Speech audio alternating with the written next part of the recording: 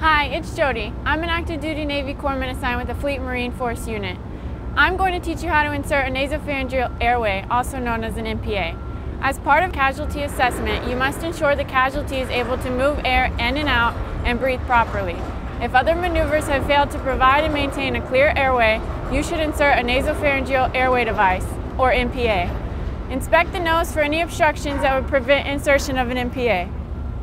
Open the NPA provided in your first aid kit. The NPA that comes in most first aid kits fits an average sized adult. An NPA is a flexible tube with one flanged end and one beveled end that can allow an unconscious casualty or a casualty with an airway obstruction to breathe more easily. Lubricate the end of the NPA with the lubricating jelly from the first aid kit or with water.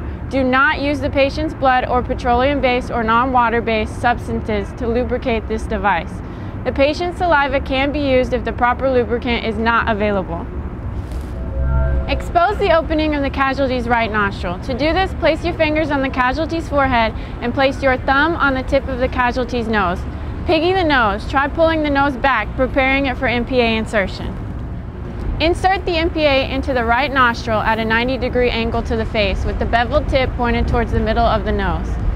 Insert the NPA until the flange or flared end is flush with the nostril using a quick fluid movement pushing toward the ground and not toward the top of the head. Remember to use caution and never force the airway into the casualty's nostril. If resistance is met, attempt a light rocking motion and try to gently reinsert. If successful but the patient begins to gag or choke, pull the NPA out slightly and leave it in place. If unable to insert it into the right nostril, Pull the NPA out completely and attempt to insert it into the left nostril. If inserting into the left nostril, you will need to rotate the NPA after it is approximately 2 inches into the patient's nose, so the curve of the NPA is oriented downwards. With the NPA inserted, continue to assess breathing and respiration by using the look, listen, and feel technique to assess for air movement. Look for rise and fall of the chest, listen for breathing sounds, and feel for their breath against your cheek. Remember, if the casualty is awake, place them in a sitting position or the recovery position. If they are unconscious without a suspected spine injury, put them in the recovery position.